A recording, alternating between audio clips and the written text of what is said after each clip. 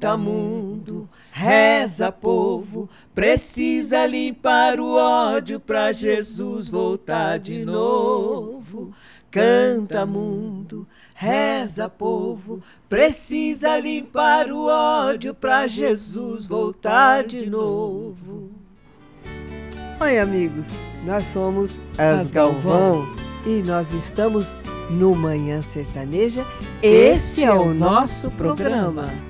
No saco de estopa endira amarrado, eu tenho guardado a minha paixão.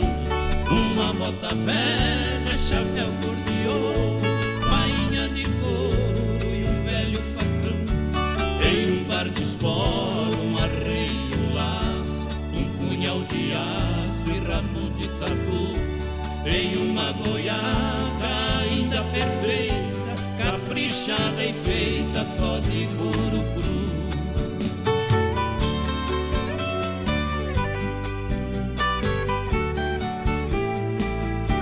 Do lampião quebrado só resta o pavio. Pra lembrar o frio eu também guardei. Um pelego branco que perdeu o pelo Apesar do zelo com que eu cuidei Também cachimbo de canudo longo Quantos pernilongos com ele espantei Um estribo esquerdo que eu guardei com jeito porque o direito nascer que eu quebrei.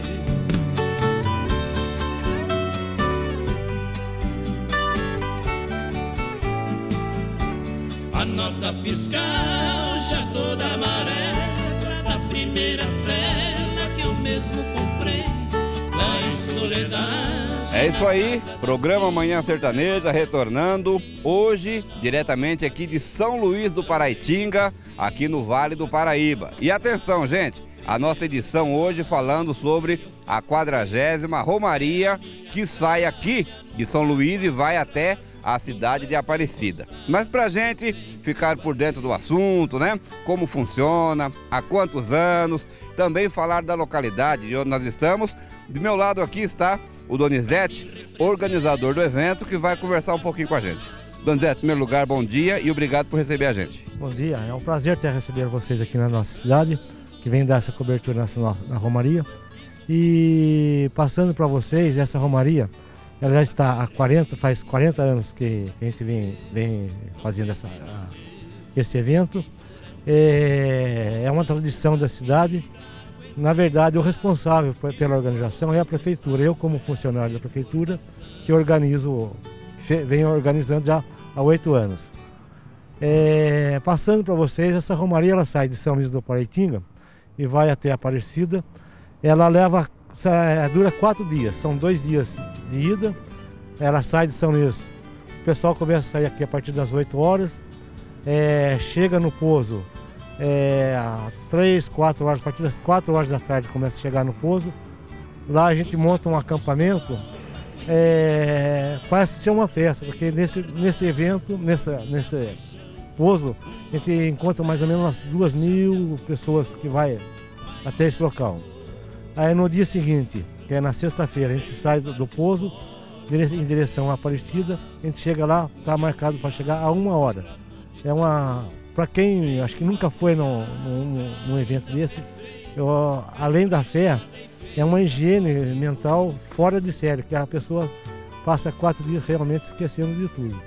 Tá, bom, durante toda essa edição, o Donizete vai continuar aqui com a gente, mas ele falou do pouso, né? Vou chamar o Edilson, que tá lá para essas bandas, porque ah, os cavaleiros já saíram daqui, que é o local, eles param para tratar dos animais, tomar banho, enfim, jantar, pousar e amanhã todos reunidos seguindo rumo à cidade de Aparecida. Eu vou chamar o Edilson Moreno, que está com um grupo de cavaleiros lá e vai trocar uma ideia com esse povo. Edilson, é com você. A Sônia também faz parte dessa, dessa cavalgada.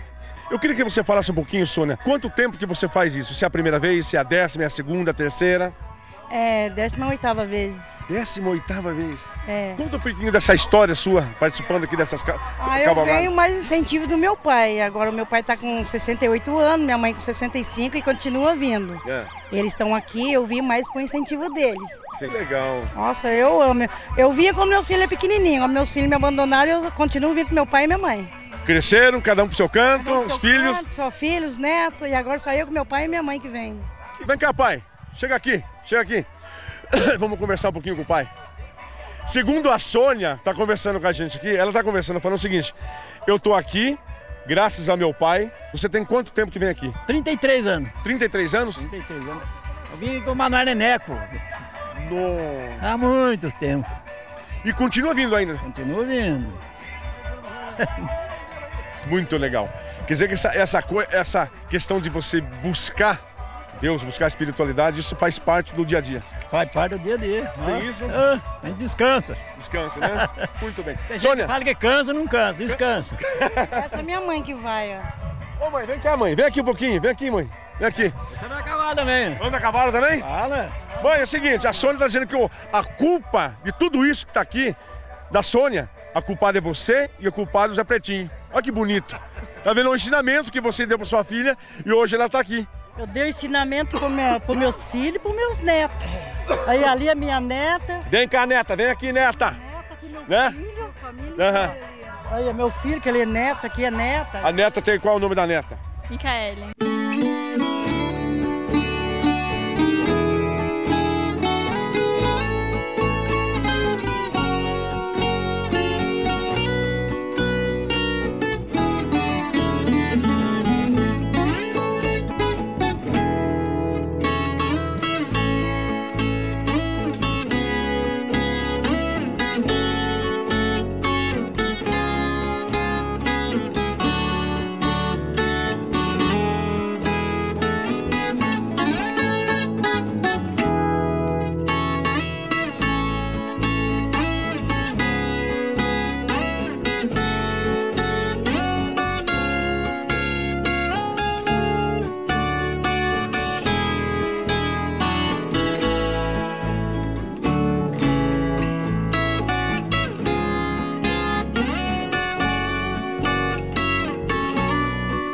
Olha que coisa mais chique do mundo e que lindo que ele é. Vocês são de onde?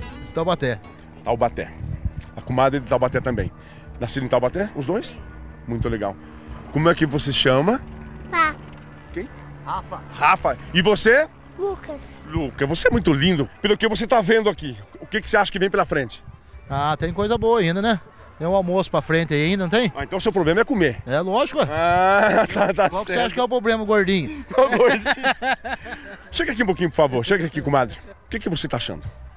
Eu tô achando muito bom, né? Eu acho que assim, na verdade, gente- é o primeiro ano que a gente vem, mas meu pai, minha mãe, minha filha há muito tempo já vem. Oi, oi. E, e, minha, e minha avó trouxe meu cavalo. É mesmo? Cadê o vovô? Ah, depois a gente vai falar com o vovô então, tá bom?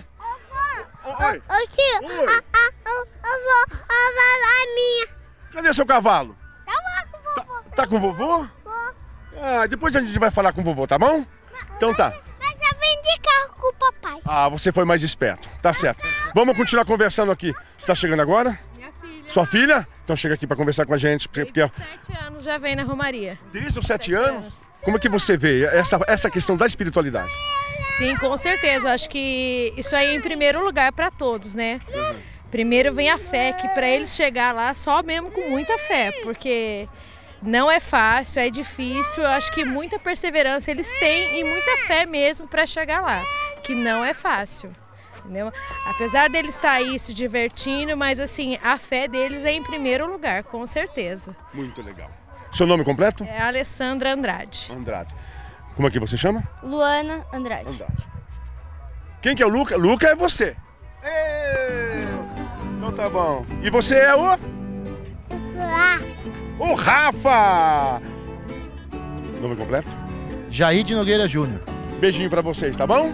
Tchau, tchau, gente. Daqui a pouquinho a gente volta.